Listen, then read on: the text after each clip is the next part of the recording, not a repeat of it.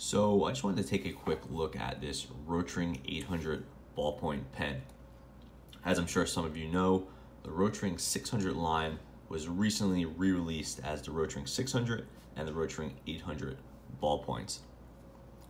And uh, I was able to pick up one of these Rotring 800s, which is essentially the Rotring 600 gold trim twist retractable. I had one of these, you know, way back in the day, and I sold it when uh, prices started to climb, uh, not realizing how far prices would go. Anyway, these are available for under $100 now, whereas uh, if you bought one kind of a new old stock, you'd be looking at over $400. And the design is relatively true to the old ones, but you're getting, you know, 95% of that, that of that pen. So brass body with a heavy texture on it. The texture actually seems heavier than I remember it, almost more like a Newton than the old 600s, but again, I haven't used one of these in a long time, so it's hard to tell. Beautiful knurling, which uh, Rotring has always done. This does uh, wear out over time because it is brass, but it's really nice out of the factory. Like the original, it has the gold trim, and here as well the uh, and this was sort of what one of the features that defined the 800 line now again which was the 600 gold trim twist retractable. Just for reference here is the an original knurled Rotring 600 and the standard retractable ballpoint. This is not clickable.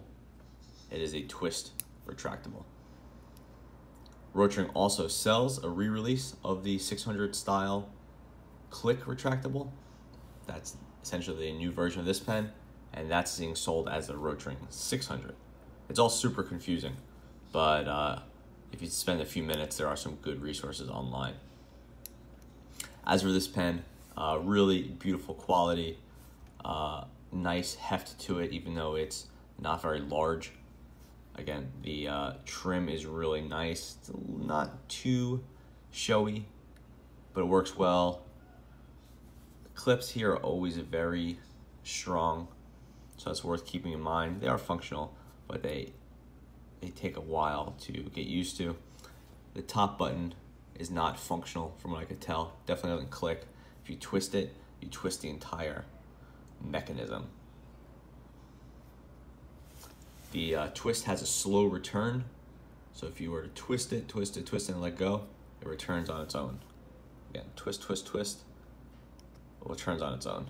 If you twist, there's a nice subtle lock and it stays. And again, if you twist, it returns on its own. And that's a really nice feature so that you don't uh, accidentally leave your pen out and you know write on your shirt or something. Also, it uh, means if you you never like start writing with it halfway down and like, you know, rip your paper or something like that. As for the rest of the pen, it's just a simple, simple design. Has the body. This is a kind of a standard Rotring refill. This is the one millimeter ballpoint. These are fine. They last forever, which is nice. Uh, I tend not to really enjoy writing with them too much, but they get the job done. And then the body. I haven't taken this part yet, which it is a new pen. Doesn't seem like any need. And I'm thinking there's going to be some fiddly bits at the top just to deal with that twist mechanism. As for writing, I have paper handy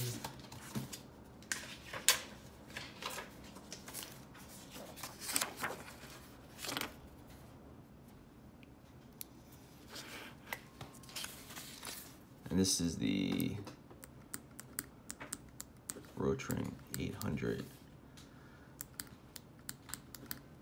twist retractable. Very standard ballpoint writing. Uh, the good news is the cartridge is very easily upgradable, so you could make this into a much more interesting pen with this just uh, a few seconds. As for changes from the original, uh, let's see.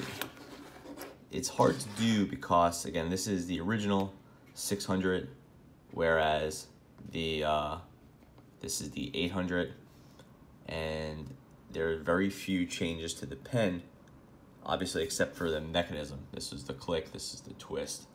Uh, I don't have an original 600 twist to show you, but they're really similar. The main change people have pointed out is that the uh, old 600s have a color indicator here. So uh, you have black ink in it. You can twist it to be green, blue, red, and that's it. Mine's on black.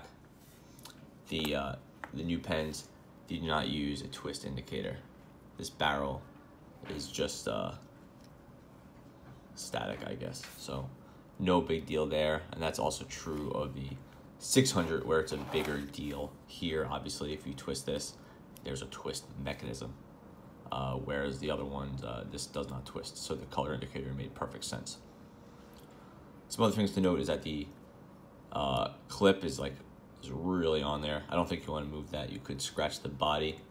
Uh, these bodies tend to sorry, they tend to hold up over time with the main problem being cracked brass, not really so much the uh, serious scratching to the coating. Anyway, uh, really nice pen. I've been enjoying it so far. Uh, I've been probably gonna have to go ahead and switch that Rotring cartridge out and put in put in an Easy Flow or something more interesting. But uh, yeah, I was able to finally fulfill my wishes of once again owning a Rotring 600 twist, except it's a Rotring 800. But uh, I think it's a great opportunity for some people to get that original Rotring feeling.